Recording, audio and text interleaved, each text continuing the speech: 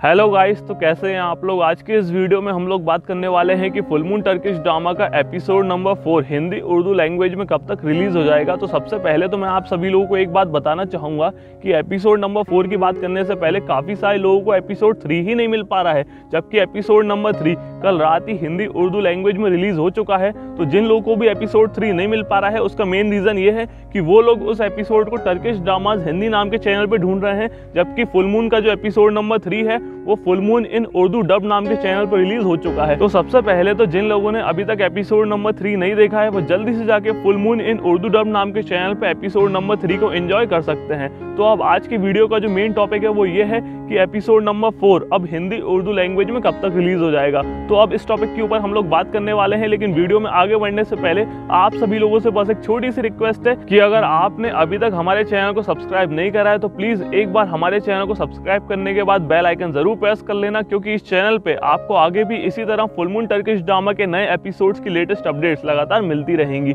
तो चलिए अब फटाफट से फुल मून के एपिसोड नंबर फोर के बारे में बात कर लेते हैं कि वो हिंदी उर्दू लैंग्वेज में कब तक रिलीज़ हो जाएगा। तो अब सबसे पहले तो मैं आप सभी लोगों को एक बात बताना चाहूँगा कि यूट्यूब पे काफ़ी सारे ड्रामाज हिंदी उर्दू लैंग्वेज में डब होते हैं, लेकिन फुल मून टर्किश ड्रामा को बाकी ड्रामास के मुकाबले काफ़ी अच्छा रिस्पांस मिल रहा है। लोग इस ड्रामा को बहुत ज़्यादा पसंद कर रहे हैं, इसलिए इस ड्रामा की डबिंग और भी ज़्यादा फास्ट कर दी गई है। काफ़ी जल्दी जल्दी इस ड्रामा के नए एपिसोड्स अपलोड हो रहे हैं और अभी जो एपिसोड नंबर थ्री अपलोड हुआ है, वो भी फोर डेज़ के अंदर अंदर अपलोड हो गया था। तो एपिसोड नंबर फोर जो है, वो भी आपको फोर डेज़ के अंदर अंदर हिंदी, उर्दू लैंग्वेज में देखने के लिए मिल जाएगा, लेकिन अगर थोड़ा बहुत डिले हुआ, क्योंकि आप लोग जानते हैं कि यूट्यूब चैनल्स के साथ हमेशा काफ़ी सारी प्रॉब्लम्स लगातार चलती रहती हैं, लेकिन वैसे तो डिले होगा नहीं, अगर हुआ तो ज़्यादा से ज़्यादा वन वीक के अंदर अंदर तो आपको नया एपिसोड देखने के लिए मिल ही जाएगा। अब मैं आगे भी इसी तरह से फुल मून टर्किश ड्रामा के और भी नए एपिसोड्स की लेटेस्ट अपडेट्स आप लोगों तक लगातार पहुंचाता रहूँगा, लेकिन वो अपडेट आप लोगों तक तभी पहुंचेगी जब आप हमारे चैनल को सब्सक्राइब करने के बाद बेल आइकन ज़रूर प्रेस कर लेंगे। तो प्लीज़ एक बार हमारे चैनल को सब्सक्राइब ज़रूर कर लीजिएगा।